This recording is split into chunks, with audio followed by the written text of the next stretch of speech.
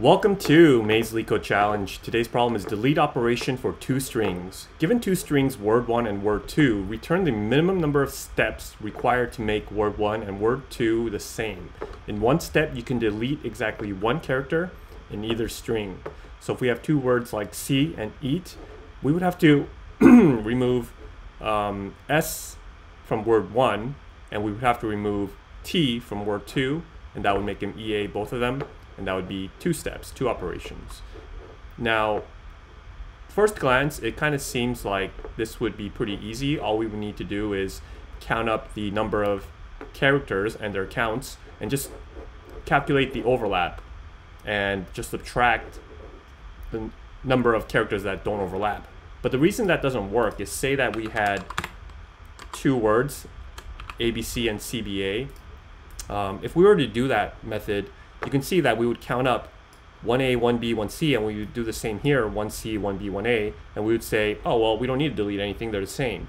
But they're not, right? Because we, if, if we were to make these the same, the order actually matters. It would actually have to be four. We'd have to like remove, say, this, this one, this one, and this one, this one, and that would make it four operations, not zero.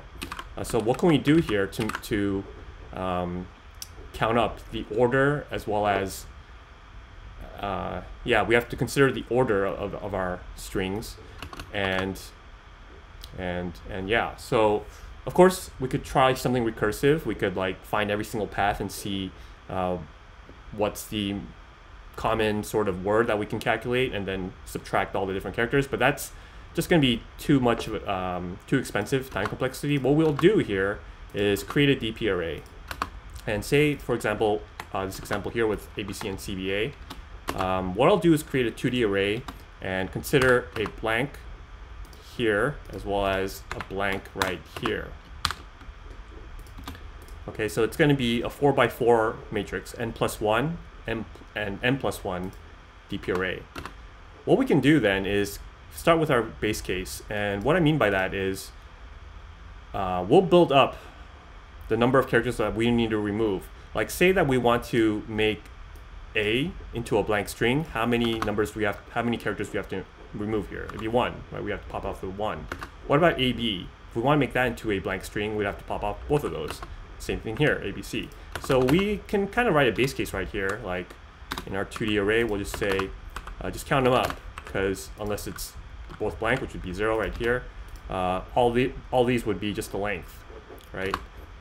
Okay, now we're gonna go bottom bottom up, and we're gonna try to figure out how to calculate the number from, from each sort of um, substring here in order. So with like A and C, how many do we need to remove to make them equal to one another?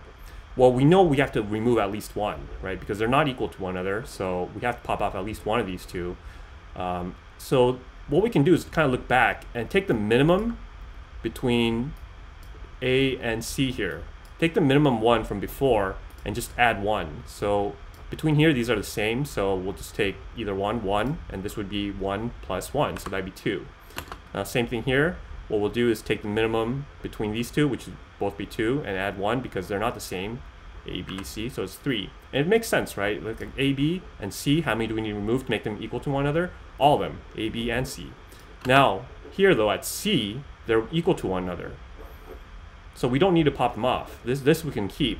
So then which number do we take? Well, we just take the one uh, before the C, which would be uh, right here, this 2, and we just take that over, and this would be 2. Just bring over minus 1 row, minus 1 column, and that would be the one we just bring over, and that would be 2. So that's really the two sort of cases that we need to consider. Now we'll just move forward. We'll say, all right, take take the minimum uh, minimum between these two. They're not equal, so this would be 3. Uh, here, this this is equal, so we'll take the one uh, row and column before, that's 2. And here, let's see, it's not equal to one another, so we'll take that, that's 3. Um, so, and you can see like ABC and CB, how many we need to remove here? Well, the only thing we can get is um, to get them to be equal C, so we have to pop off AB and B here. AB from the word 1 and B from word 2, and that would make it three operations. So this is correct, right? So here, this would be 2, this would be uh, BA, so this is 3, And here with CA, take minimum between these two, and plus 1, that's 4. And at the very end, we're going to re uh, return this, and it's 4. We have to remove 4 of these. Um, like, we can remove different combinations. We can remove A, A and C, or we can remove A and B. Uh, but either way, we have to remove have four operations to remove that. Okay, so hopefully that makes sense. This is a DP approach. What we'll do is first create a DP array. Let's first initialize our n and m, which would be the length of word 1 and word 2. Next, let's create our DP array, and what we'll do is say for blank in range of, uh, let's start with n n, and we need plus one here to consider that blank string there. I'll make it a 2D array. So for blank in range of m plus one. Now we first need to consider the top row and the first column. So top row, we'll say for, uh, let's say column in range of, let's see, column I said n, and this would be n plus 1 we're going to say, all right, dp, the first row, um, make the column basically equal to column, right? It's going to be 1, 2, 3, 4, 0, 1, 2, 3, 4, all the way. And the same thing here, for range of n plus 1. This would be the row, first column, make it equal to row. All right, so now we have our DP array with the base condition all filled out. Now we just need to do a nested for loop and move through it here. For r in range of uh, let's see, m plus 1, and for column in range of n plus 1. And one thing to consider, we don't need to consider that first one anymore, so we'll have a 1 here. Now, there's two conditions here, right? It could be that at this letter, they're the same, at this index number, and R and C, they're the same or they're not the same. So if um, word 1 R and we have to say minus 1 because uh, you know this is 0 indexed and we added 1 here. If this is equal to word 2, call minus 1, then recall that we just take the one previous row and previous column. So dp rc is just going to equal to dp r minus 1 c minus 1. Now otherwise, they're not equal to one another, then we're going to make dprc equal to 1 plus the minimum between r minus 1 and c, and dp r c minus 1.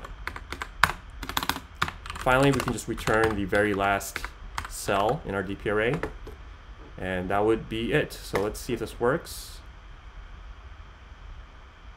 That looks like it's working, so let's submit it. Hmm. Index, I might have flipped it here see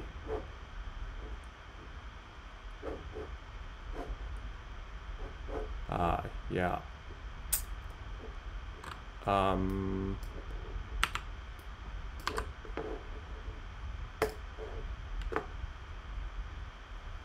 Yep, there we go. So I, I flipped that by accident, my fault.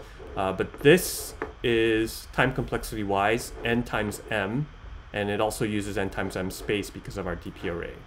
So this is probably the optimal solution. Uh, you could write something recursively and do memoization to do something similar, but I think this is a lot more understandable to me. You can also go, uh, if you were to do it recursively, you'd have to go top, top to bottom. Mm, so uh, it's up to you. I, I think this is much more understandable. So, okay, thanks for watching my channel. Remember, do not trust me. I know nothing.